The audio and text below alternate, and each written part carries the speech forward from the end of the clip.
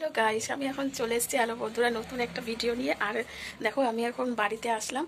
আর পড়িয়ে টড়িয়ে সেই সকালে বেরিয়েছিলাম, তো এখন বাড়িতে আসলাম। আর এসে দেখো কি গরম, আর বাইরেও দেখো প্রচুর রোদ। এত রোদ, রোদে কি আর বেরোনো যায় বলো? তবুও কষ্ট করতেই হবে, বেরাতে হবে। প্রচুর আমার কষ্ট হয়। সকালবেলা বেরিয়েছি, আর এই এখন ঢুকলাম, এখন তো বিশাল রোদ, এখন আর বেরাবো না।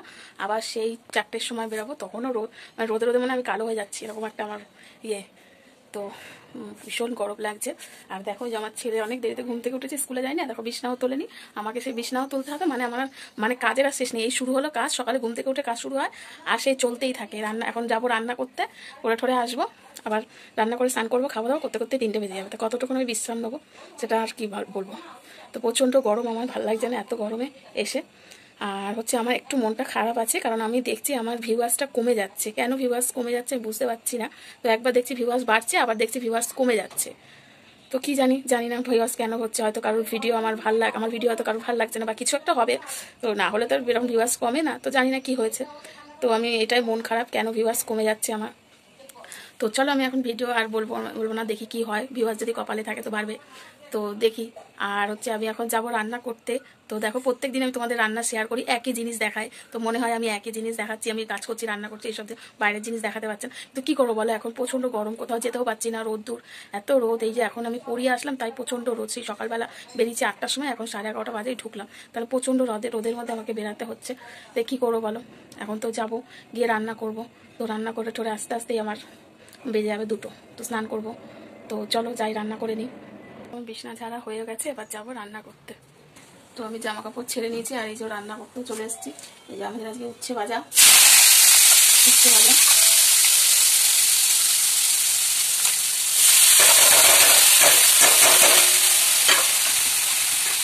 কত আছে কাটিনি কত কিছু তো উচ্ছে ভাজা হচ্ছে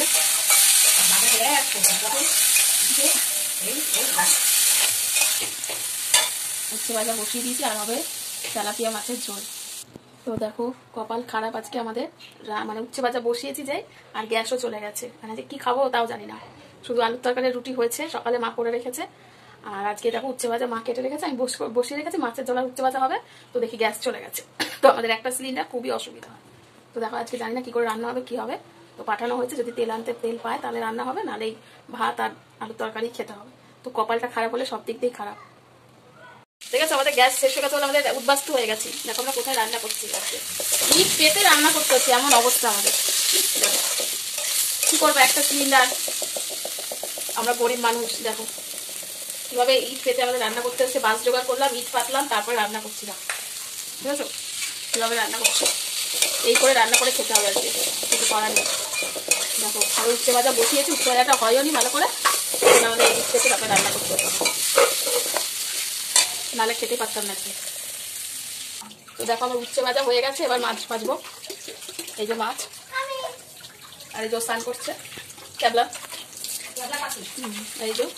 দেখতে পাচ্ছ তোমরা আমরা কেমনভাবে রান্না করছি? দেখো। ইট পেতেছি, ইট পেতে তারপরে বাস দিয়ে, দেখো বাস চালিয়ে রান্না করছি। তো দেখো এই যে মাছ ভেজে নেব এখন মাছ ভেজে নিচ্ছি দেখো, তেলাপিয়া মাছ। মাছ ভেজে নিচ্ছি। এই যে ঝোল করব মাছে, ভাজা হয়ে গেছে এরকম জিরে ফোড়ন দিয়ে দিলাম।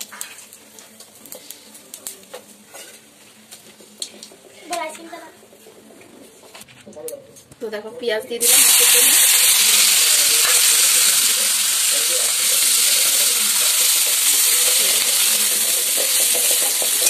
খুব কষ্টে রান্না করতে হচ্ছে আমাদের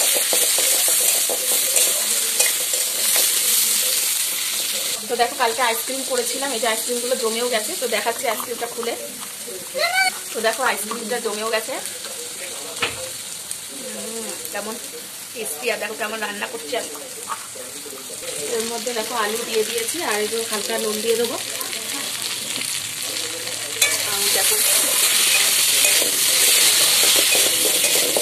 কীভাবে রান্না করতে হচ্ছে কড়াই নড়েই যাচ্ছে। মধ্যে আলু দিয়ে দিয়েছি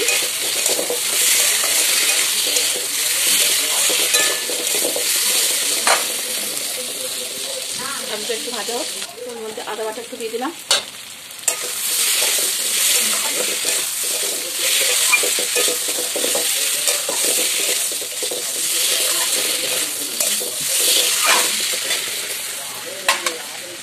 ভিডিওটা এক চামচ হলুদ গুঁড়ো। চামচ জিরের গুঁড়ো দিয়ে দিলাম, হালকা একটু লঙ্কার গুঁড়ো।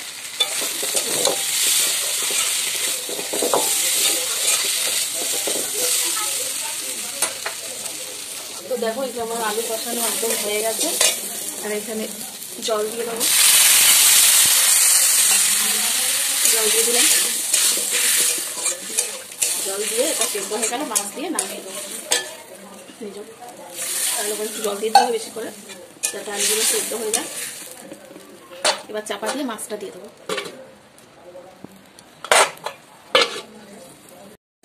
দেখো আমার মাছের ঝোল হয়ে গেছে ইট পেতে মাছের ঝোল। দেখো হয়ে গেল। আর আমার ছেলে এই যে কাঠ কাঠ কুড়িয়ে চলে এসছে কত কাঠ কুড়াতে চলে এসছে কাঠ কুড়িয়ে। আর আমার রান্না হয়ে গেছে মাছের ঝোল। তো চলো আমি স্নান করে নিই। তো দেখো আমার রান্না হয়ে আর স্নানও হয়ে গেল। আর এই যে আজকে বৃহস্পতিবার পুজো দিচ্ছি ঠাকুরের। তো পুজো দিয়ে তারপরে খাব। এই যে পুজো দিয়ে দিই আগে, বৃহস্পতিবার। হ্যালো, এই যে মা পুজো দিচ্ছে। এবার আমরা আর এই ভিডিওটা বেশি বড় করলাম না। আমাদের চ্যানেলকে লাইক সাবস্ক্রাইব আর কমেন্ট করে দেবেন। Bye bye